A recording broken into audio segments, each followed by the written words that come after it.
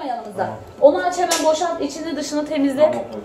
Arkadaki tuştan Cemal abi açtı şu an. Abi saçın şurası bozulmuş ama. Abi bir baksana bir. Bugün yoğundunuz. Perişan olduk. Bugün Cuma, Cuma'yı bile unuttum ya. Dur onu çekme lan. Şimdi açılış kontrolü başlatmak istiyor musunuz? Cihazı ilk açtığınızda ekranınıza gelecek cihaz şey ekran budur. Bütün hastalara başlamadan önce bunu yapın. Hani kendinizi garanti almak adına. Zaten burada otomatik testi kendisi yapıyor. Hiçbir şey karışmıyorsunuz.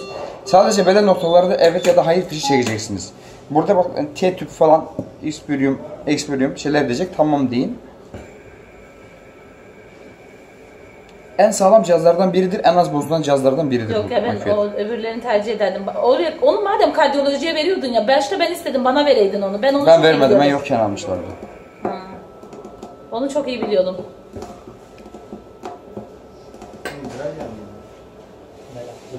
Vela. Telefon kaliteli ha iyi çekiyor.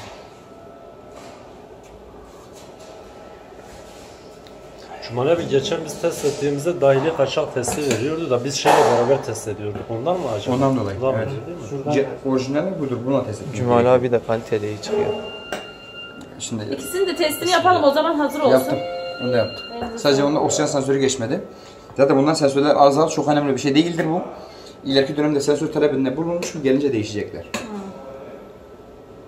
Abi YouTube'a da koyarım ben bunu. Tabii. Maküet kalibrasyonu da. Kesinlikle. Abi senin üzerine para kazanmış olacağım ama yanlış anlama. Bak. Hesaplanan ömrünün sonundadır. Bunlar 6 ayda bir veya yılda bir değişir sensörler. Devam et diyelim. Onu geçmeyecektir muhtemelen ama çok önemli bir şey değil. Yine de hani e, şey çalışır. Cihaz çalışır. Bunu dış merkezden mi gelecekler? Yok biz cihaz talebinde talebi. bulunduk. Bizim medikal değişecek onu. E hadi bakalım.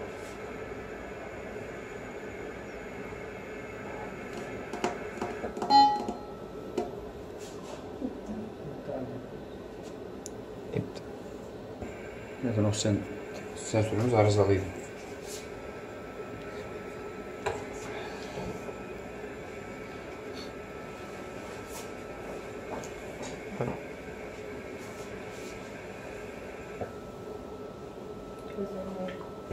Bunu ne sıklıkla kalibre etmemiz gerekiyor bizim? Bizim şunu yapmamız. Nasıl? Ne sıklıkla yapmamız Her gerekiyor? hastada. Hasta ilk Açılışta- hasta çıktı ya. Yeni hastaya bağlayacaksınız. Bağlamadan önce hazırlayın. Temizlendikten sonra. Evet. Şunlar sterile gitmiyordu değil mi? Bu gidiyor. Ya normalde bu gidiyor. Ben bunu gönderiyorum sterile. Burada bir kere gönderdim ama almadılar. Ben temizliğini gösterdim arkadaşlara. Nasıl temizlemesi gerektiğini. Bunda sadece zaten kasede temizliyorsunuz. Mümkün olduğunca ben yeni şey talebinde bulunacağım. Set mi? Set değil. Oksijen devresi. Bak diyor ki fişi çekiniz diyor. Burada batarya kontrolü yapacaktır.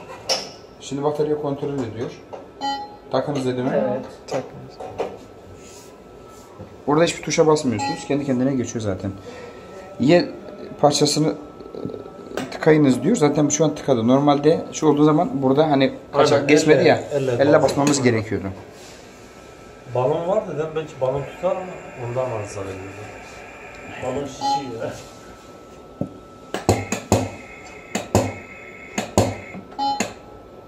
Tamam. Bu kadar. Bitti. Sonra tamam diyorsunuz. Hastayı kabulünü aldınız. Yeni bir hasta alacağız.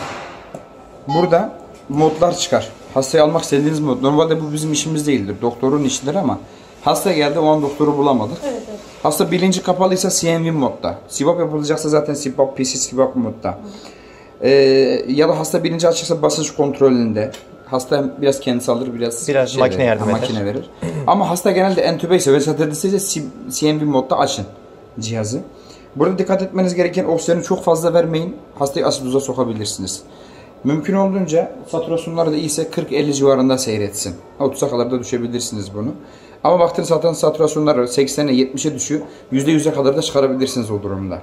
Kendini toparlayana kadar. Ama eğer oksijen 70'e 80'deyken saturasyon e, e, halen düşmeye devam ediyorsa e, hastanın entübasyon tüpüne tıkaç olmuş olabilir. Kesinlikle ve kesinlikle SFM bu yapın. SFM bu. Evet. Burada e, pipiniz ilk aşamada 5 olsun. Solunum sayısını zaten hepimiz biliyoruz. O aralıkta yerini. O aralıkta bir şey yapın. Yani illaki 15 olsun 14 olsun diye bir şey yok bu. Hı, 12 Tamam mı? Yani 12 de olur, 16 da olur. Ha, yetişkin hasta göre kendiniz ayarlayacaksınız. Bu zaten pipüstü basınç 20'de kalsın hiç karışmayın. Xperium, Xperium oranı 1'e 2 olsun. Ona karışmayın. Sadece sizin ayarlayacağınız modda ondan sonra onayla deyip burada bastığınız zaman direkt basarım.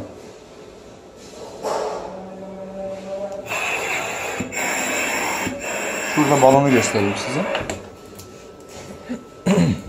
Pardon.